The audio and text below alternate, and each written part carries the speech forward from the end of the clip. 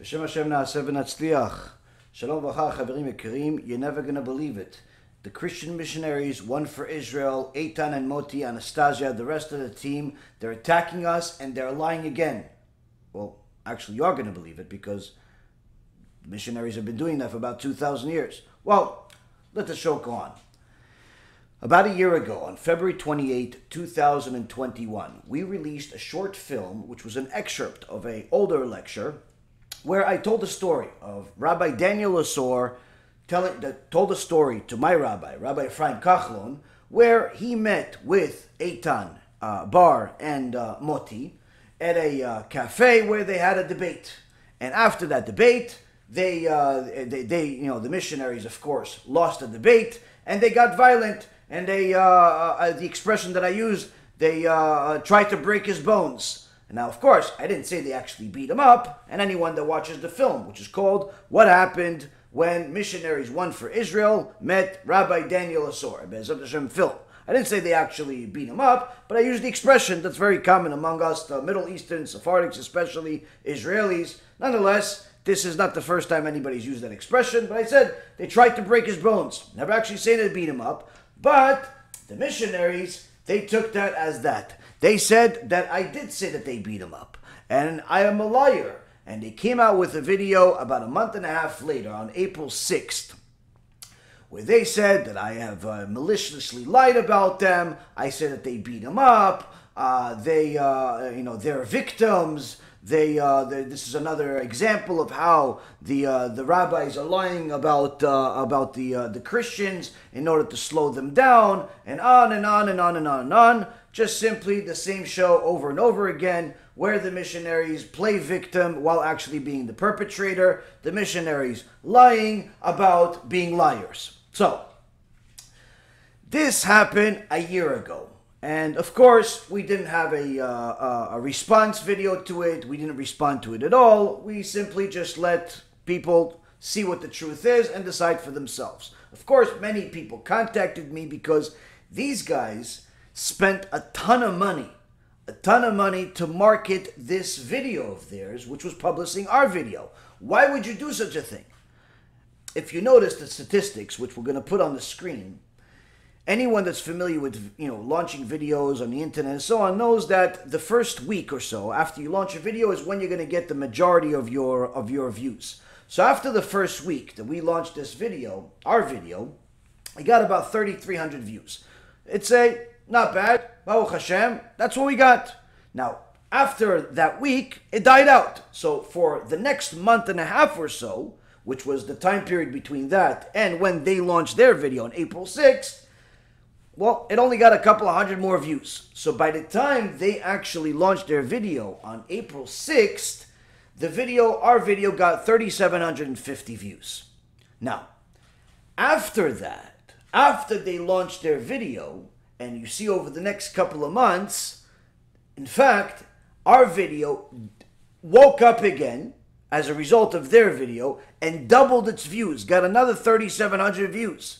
So, in essence, their video marketed our, our video even better than what we do for ourselves. And over the next year, since then, it continued increasing as their video continued increasing. Now, what's the difference? Their video got over 106,000 views to date.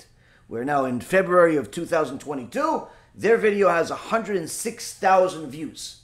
Our video has about 10,000 views. So we're talking about a factor of 10 here, 10 to 1.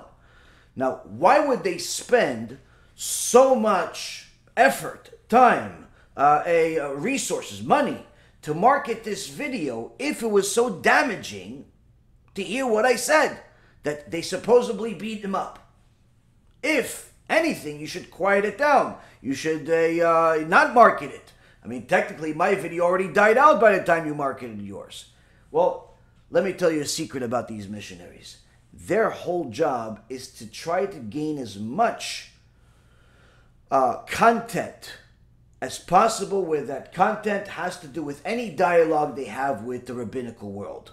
So the whole purpose behind them spending a fortune, we're talking about tens of thousands of dollars probably, uh, is in order to gain more content, in order to make themselves look like victims, in order to look like make us look like evil people, and to show how they are doing the right thing, they are righteous, and we are wicked. Well, today we're going to show you another real version of what they really are. And I promise you, it has nothing to do with righteous. First and foremost, you should know, statistically, as I said, their video marketed ours. Why would you do such a thing? Well, if you want to, if you want to, if you have an agenda, the first agenda was to show that I was a liar. We're going to prove that otherwise in a moment.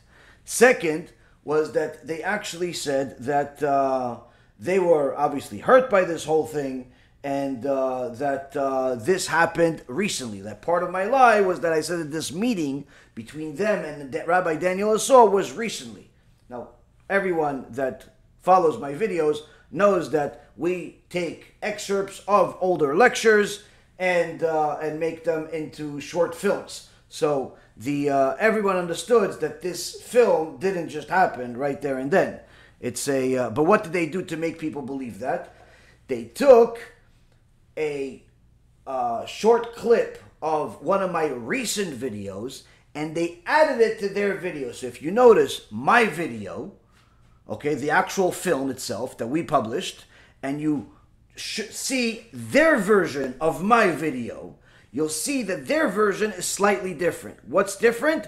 They added a picture in picture. And in that picture in picture, you see me talking. So it looks like it's the current version of me, it's the more recent version of me that changed looks a little bit over the last few years. And you see how, oh, this, this must have happened five minutes ago. Why? Because again, it adds to it adds to the uh, to the feel to the feel that they are the victims and we are the liars. But of course, once you actually notice that there is a uh, uh, this is not authentic, you realize who's the liar.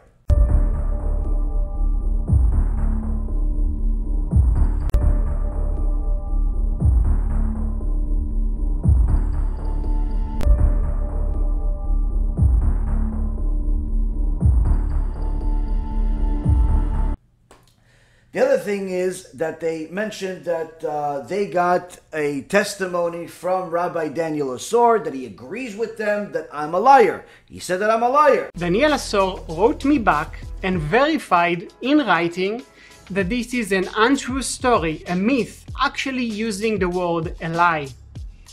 Well, good news is is that we had to double check that. Did he actually in fact say I'm a liar? Well, let's see. Rabbi Daniel Assore heard, you know, told the story to my rabbi, Rabbi Ephraim Kachlon. I don't know Rabbi Daniel Assore personally. I've only spoken to him a couple of times in my life, but uh, uh, that was many years ago. But as far as a uh, as far as this whole story was really between him and Rabbi Ephraim. So right after they published this video, we reached out. Rabbi Ephraim reached out to him, and they had a uh, communication via WhatsApp. And what did Rabbi Daniel Assore say? You're going to hear it in a moment, and that's the that's the key. You're going to hear him saying it. And he's going to say what actually transpired that they had the debate. After the debate, Eitan Bar did get physically threatening, bumping his chest into uh, aggressively into Rabbi Daniel Assore as if uh, trying to uh, uh implicate that he wants to fight him. Rabbi Daniel Assore had to restrain him by taking his two hands and putting them together. Of course, trying to uh, stop something from getting out of hand because he was getting threatening, he was getting violent. And this, Rabotai, is what the missionaries don't want you to believe. So, how could it be that Rabbi Daniel Assore called me a liar? He called the story a lie. What's the story a lie? They told him that I said that they hit him. So he said, that's not true. That's a lie. You didn't hit me. So of course, the question they asked, or the, the, what they said, their statement, which is in essence a lie about what I said, is that yes, they said I that he uh, they hit him. He said no, that's a lie. You didn't hit me. You know, you didn't hit me. But the good news is, I didn't say they hit him. I said they tried, so they got aggressive, and that's why he answered the way he answered, and that's why we had to get this on recording not some hearsay. You're going to hear it from Rabbi Daniel Asor. הם פנו אליי וטענו שאתם פרסמתם, שאתם שברתם לי את העצמות, שהם שברו לי את העצמות, שהם הרביצו לי מכות. אז אני אה, אמרתי שזה לא כך, שאני לא סיפרתי את הסיפור כך. נכון, הייתי עם שומרי ראש, הרב, היה שם, ברב, היה שם יחיעם, מנהל המחלקה נגד נצרות, היה שם בנימין קלוגר. נכון, מה זה החל להתלהם? אני, כשאני אומר הוא החל להתלהם, נכון, הוא ניסה, כאילו, הוא בא עם החזה שלו, ונכון, אני הצמדתי לו את הידיים, אבל זה לא לשבור את העצמות, זה לא להרביץ מכות, זה לא... הוא לא, הוא לא תקף, מה זה תקף? זה, זה מה שהיה, אני מספר לך בדיוק מה היה, תקרא לזה איך שאתה רוצה לקרוא לזה. זה הכל, הוא, נכון, הוא התחיל להתלהם, הוא בא עם החזה שלו ונצמדתי לו את הידיים, זה הכל. וחשבתי שלכן לא ראוי להיפגש איתו שוב פעם. כל העניין האם להיפגש איתו שוב או לא, כשהוא ביקש להיפגש לוויכוח, ואמרתי שאין מה להיפגש עם בן אדם כזה, שאז הוא היה בחור צעיר והיום הוא, לא יודע, כבר עושה דוקטורט בתחום, אבל טענתי שזה יהיה חיול השם לחשוף את הסטודנטים באוניברסיטת תל אביב לוויכוח מהסוג הזה, לתת לו במה. ואדם שהתנהג לא, לא ראוי לדעתי בסוף המפגש הזה, לא שווה להיפגש איתו וגם לא שווה לתת לו במה, זה הכל. I've been sitting on this for over a year because there was simply no reason to expose this to the public. I had a couple of close students that knew about it. The rest of the people, there was simply no reason. But now there is a reason.